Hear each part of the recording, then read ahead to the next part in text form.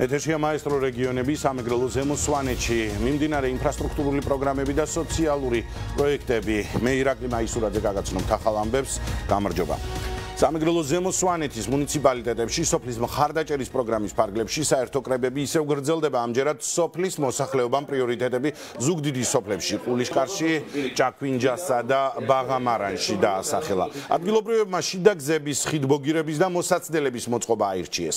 თავარ პრობლემად რომელიც უნდა მოგვარდეს. სოფლის მხარდაჭერის პროგრამის შერჩეული პროექტები დასამტკიცებლად მუნიციპალიტეტის საკრებულოს წარედგინება ძირითადი მოთხოვნა მოსახლეობის არის წყალი, გაზი, რომელიც არის აქტუალური პრობლემა მთელი ჩვენი მუნიციპალიტეტის მასშტაბით. ამ სოფელში გაზიფიცირების სამუშაოები უკვე მიმდინარეობს და ამ წლის ბოლომდე გაზიფიცირების საკითხი მოგვარდება. ასევე მნიშვნელოვანია გზების პრობლემა, რომელიც ასევე დააყენა მოსახლეობამ და ჩვენ ამ სოფელში გვაქვს რამოდენიმე პროექტი, რომლის მიხედვითაც წელს უკვე დაიწყება სამუშაოები ამ მიმართულებითაც. პრობლემები საკმაოდ მოიხსნა სოფელში ამ გზის გაგეთებით ეხლა მიდის გაზიფიცირება მოსახლეობა ირჩევს თვითონ პრიორიტეტს თვითონ აძლევს ხმას იმ პროექტს რომელიც სოფლისთვის არის საჭირო და ამ ხრივ ესეთ შეხვედრებს ალტერნატივა არ გააჩნია სოფლის მხარდაჭერის პროგრამის ფარგლებშივე ჩხოროწყოს მუნიციპალიტეტის მოსახლეობასთანაც საკონსულტაციო შეხვედრები გრძელდება. ხელისუფლების წარმომადგენლებმა მოსახლეობას სოფლის მხარდაჭერის პროგრამის შესახებ ინფორმაცია კიდევ ერთხელ განმარტეს დეტალურად და აღნიშნეს, რომ მნიშვნელოვანია თითოეული დასახლებისათვის გამყოფილი თანხა მიზნობრივად სწორად დაიხარჯოს და პირველი რიგის აუცილებელ საჭიროებებს მოხმარდეს. საერთო კრებაზე მოსახლეობის მიერ წარმოქმნილ საპროექტო წინადადებებს კენჭი ეყარა და ხმათა უმრავლესობით თითოეულ დასახლებაში პრიორიტეტები უკვე გამოვლენილია. ადგილობრივ მიღებმა პრიორიტეტად შიდა საუბნო გზების რეაბილიტაცია, გარეგანათების, წისქვილებისა და წყალმომარაგების პრობლემების გადაჭრა დაასახელეს. ხალხი ირჩევს მისთვის პრიორიტეტულ პროექტებს, რომელსაც ჩვენ ხელს უწყობთ თანადაფინანსებითაც და თუ დაუშვათ და ისეთ პრიორიტეტებზე, როგორიც განათება და ასე შემდეგ შეთანხმდება მოსახლეობა, ჩვენს თანადაფინანსების სახით შემოვდივართ. ზოგან 10000-ით, ზოგან 30000-ით, ზოგან შეიძლება 100000 ლარითაც, რომელიც ხელს უწყობს უფრო მეტად ეფექტური პროექტების განხორციელებას. ჩვენ გვაქვს გეგმა დასახული, რომელიც პირველი გეგმაც აუცილებლად განხორციელდება. ჩვენი ერთად ყოფნის და იმედი მაქვს რომ რაც ჩვენ დღეს დავისახეთ ეს ყველაფერი უმოკლეს ხანებში გადაწყდება პოჩი ვალერიან გუნიას სახელობის პროფესიულ სახელმწიფო თეატრში სარემონტო სამუშაოები ისევ გრძელდება პირველ ეტაპზე განხორციელდა სარდაფის სახურავის სამსახიობო და საგრიმიო ოთახების შიდა ფასადის რემონტი, რეაბილიტირ და ვენტილიაციისა და გაგრილების სისტემებიც. აი მეორე ეტაპზე უკვე დაგეგმილია შენობის გარე ფასადის რემონტი, თეატრის რეაბილიტაცია, საქართველოს რეგიონებში განსახორციელებელი პროექტების ფონდიდან და ადგილობრივი ბიუჯეტის თანადაფინანსებით ხორციელდება. როგორც მოგეხსენება, დასასრულს უახლოვდება ფოთის ვალერიან გუნიას სახელობის თეატრის სამუშაოების პირველი ეტაპი. თეატრის ხელმძღვანელებთან ერთად, ჩენებლებთან ერთად, მერის თანამშრომლებთან ერთად კიდევ ერთხელ დავათვალიერეთ სამუშაოების მიმდინარეობა, დავსახეთ გეგმები თუ როგორ უნდა ჩატარდეს მეორე ეტაპის სამუშაოები და ვიმედოვნებთ, რომ აღნიშნული სამუშაოები დროულად და მაღალი ხარისხით იქნება შესრულებული. ზუგდიდის მუნიციპალიტეტში ნარაზენის შემოდელოს ადმინისტრაციული ერთეულების დამაკავშირებელი საავტომობილო გზის რეაბილიტაცია მიმდინარეობს. რეაბილიტირდება 2300 მეტრი გზა. იგება ბეტონის საფარი. გზის რეაბილიტაცია რეგიონებში განსახორციელებელი პროექტების ფონდისა და მუნიციპალიტეტის ბიუჯეტის თანადაფინანსებით ხორციელდება. გზის რეაბილიტაციისათვის მილიონ ლარზე მეტი იხარჯება.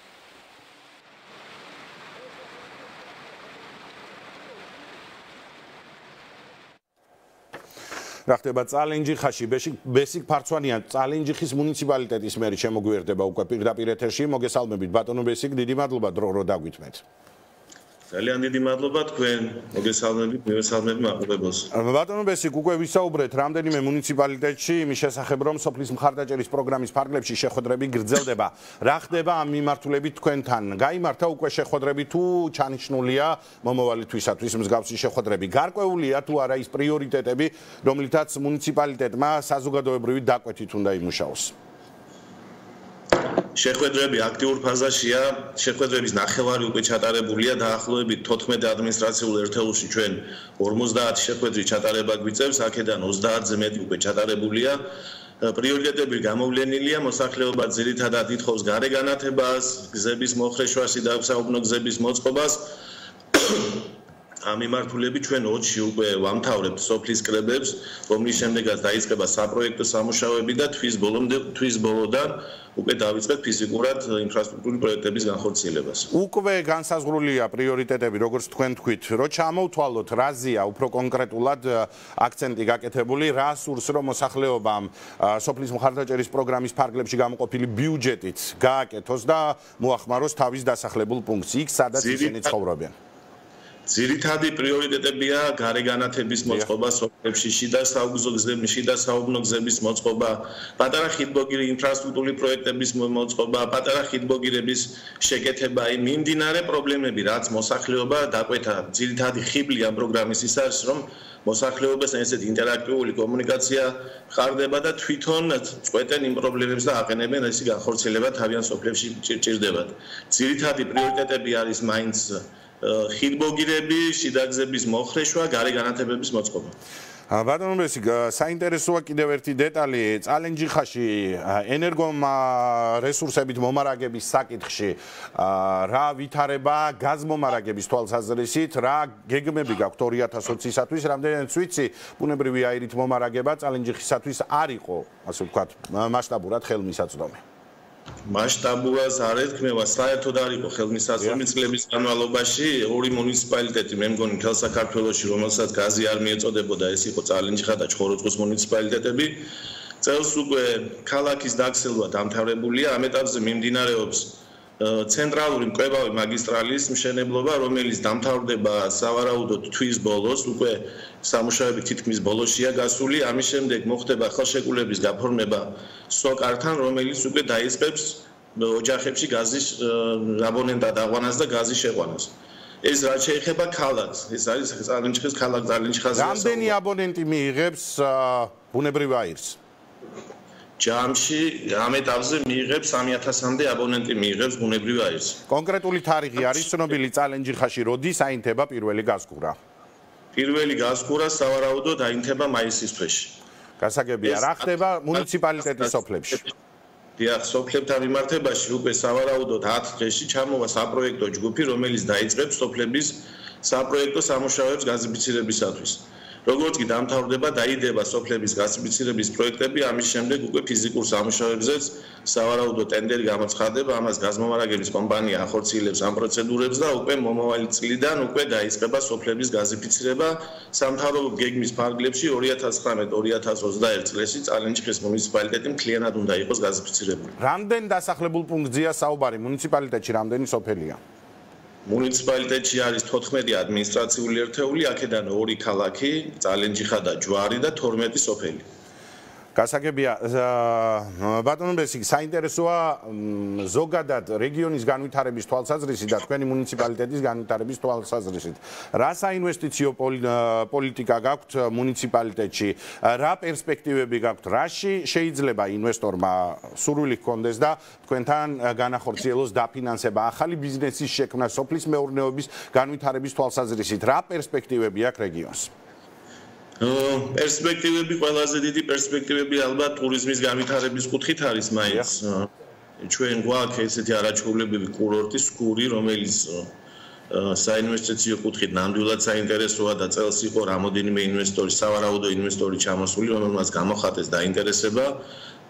ეს ერთ არის უნიკალური ბალნეოლოგიური კურორტი წლების განმავლობაში ძალიან ცნობადი კურორტი იყო წელს სამწუხაროდ ამ ეტაპზე ნაკლებად არის მიხედილი ქაურობას ჩვენ წელს ვეგმავთ რომ იქ ინფრასტრუქტურული კუთხით გზის პრობლემა იყო რომელსაც წელს ჩვენ აუცილებლად გადავჭრით და იქ ახალი თანამედროვე რეაბილიტირებული გზა გვექნება ამის შემდეგ ინვესტორების დაინტერესება მე მგონი ერთი ათმაგად გაიზრდება. საერთოდ შეეხება სხვა ინფრასტრუქტურული პროექტებითაც შეგვიძლია ტურისტული ობიექტებითაც შეგვიძლია დავაინტერესოთ ინტერესოდ როგორიც არის ინწირას კანიონი თუნდაც ტობავარჩხილის მიმართულება და ენგურის ატრაქცია რომელიც ალბათ მარტო წალენჯიხის მუნიციპალიტეტს კი არა მთელ რეგიონს ძალიან წაადგება იმ კუთხით რომ ტურისტების მოზიდვა მოხდება და ახლობით ვაცრავად 26 მილიონი დოლარად შეფასებული პროექტია. უკვე ამ ეტაპზე საერთაშორისო კომპანია კოლიესმა მოამზადა დოკუმენტი ფიზიბილინგი, ანუ ეკონომიკური კვლევა, თუ რა სარგებლის მოტანა შეუძლია მას მარტო წალენჯიხისთვის კი არა რეგიონისთვის. და ახლობით საუბარია წელიწადში 400000 ვიზიტორზე და 400000 ვიზიტორს დამატებით ჭირდება სასტუმროები, გესტაუსები და ეს ყველაფერი ალბათ განავითარებს ჩვენთვის იქნება ძალენჩხის მუნიციპალიტეტისთვის ძალიან ეკონომიკურად მომგების მოგების მომდანი. სოციალური პროგრამების შესახებ, რამდენად ხელმისაწვდომია ის სერვისები, რომელსაც სახელმწიფო და მუნიციპალიტეტის თავაზობს სოციალური პრობლემების გადასაჭრელად და რა მიმართულებით მუშაობს თქვენი მუნიციპალიტეტი ამ შემთხვევაში? ძალენჯიხის მუნიციპალიტეტის ბიუჯეტი არც ისე დიდია, მაგრამ დაახლოებით მუნიციპალიტეტის ბიუჯეტის 10% იხარჯება სოციალურ პროგრამებზე.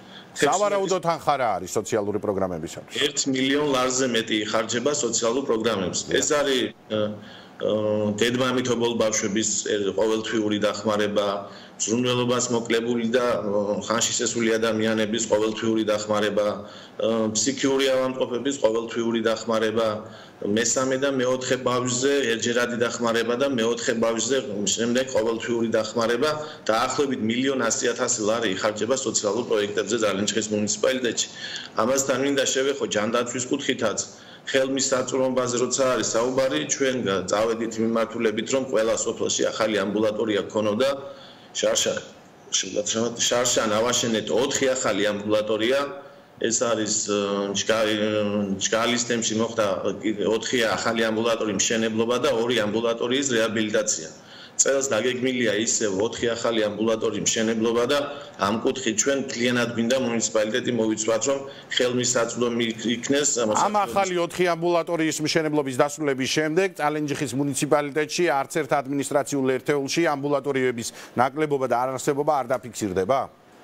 არა, წლის მომავალ წამდე ეს არის სამწლიანი გეგმა, მომავალ წელს 4 4 ამბულატორია ავაშენეთ ჩვენ რეგიონში განსახილველი პროექტების ფონდიდან და ამის გარდა ორი ამბულატორია ავაშენეთ არასამთავრობო ორგანიზაცია თემი და გარემოს დაფინანსებით.